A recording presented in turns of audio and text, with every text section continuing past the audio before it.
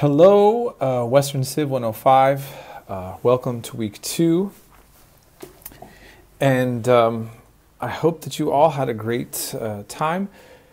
Most of the work that I'm getting is looking great. I will confess, I'm a little puzzled still why so many of you have um, not turned in work or turning in late uh, work for the notes and the discussions, and you're not explaining yourselves uh, why you've, you've turned it in so late. Because it says clearly on the assignment, due Thursday. Now, what I just realized when I um, looked at uh, uh, the student view, that there's um, an app which I don't see that talks about due dates um, that I can log in, and I don't use that. I simply write it as the first thing. That, it's the first thing that I mention in the assignment instructions. So I assumed that that would be very clear to see right there.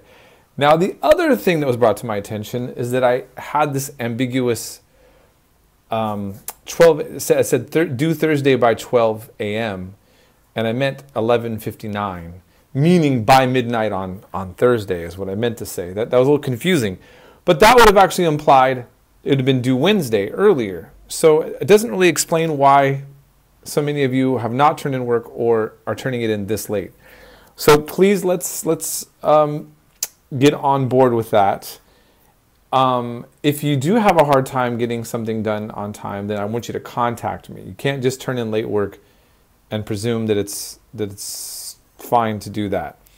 Um, but I realize this week it's it's the first week. There's a lot of confusion over little things, so we're not going to sweat it too much. But I just want to make sure we get this very clear right off the bat.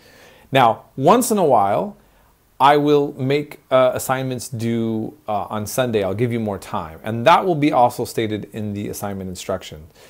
In my other class, for different sets of reasons, I allowed uh, the video notes to be uh, um, for Sunday while ours was due Thursday. Keep in mind, if you have both of my classes, that also might confuse you. I myself sometimes kind of mix up my two classes when I'm teaching them at the same time. Um, and so that can happen.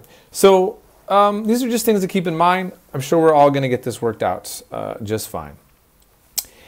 And so, uh, just to say, I think um, that uh, the majority of you are getting the the gist of my, information. Sorry, let me turn off my uh, my phone.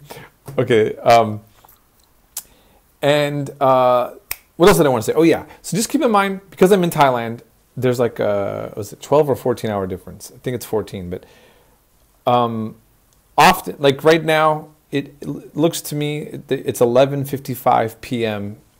Uh, where you're at it's 2:55 uh, p.m. in the future the next day here in Thailand so often when you're getting up, I'm sl slowly heading into the evening, night, going to bed, and then vice versa. So just keep that in mind if you have any questions and you have some urgency to them. Um, send me a message any time of the day, but just keep in mind that my response may come followed like me getting, I might be in, in asleep as well, and so on.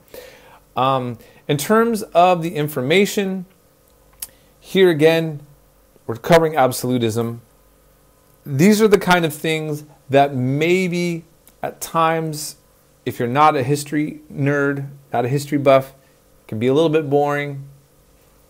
If you're not thinking about or conceptualizing the significance of how this affects your life and you know how our society developed. We don't have a king now. The UK and many European nations still have monarchies, but they have very little political power.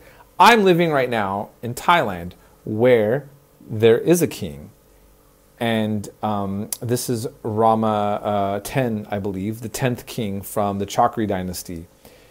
And in about the 30s, um, there was a sort of a coup slash revolution in which the king was an absolute monarch as well. Here we're talking in the 20th century. And then it, this was turned into a constitutional monarchy like many European nations in the 30s.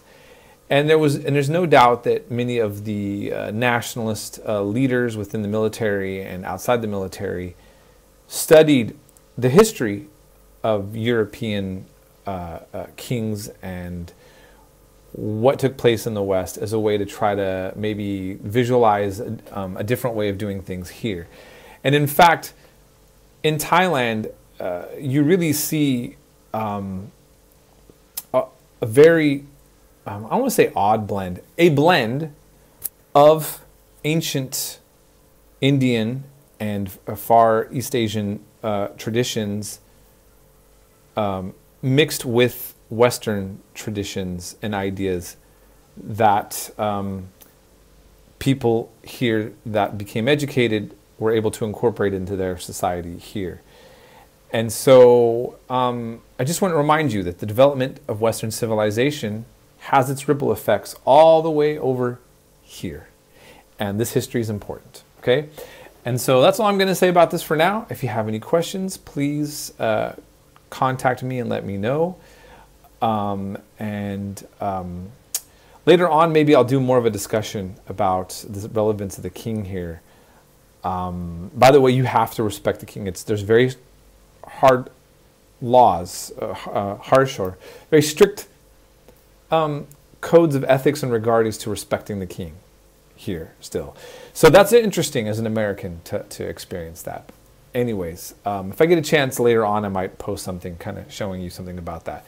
Um, just because we're dealing with the topic of absolute monarchs. But uh, I'll end up here and have a good week. We'll be in touch.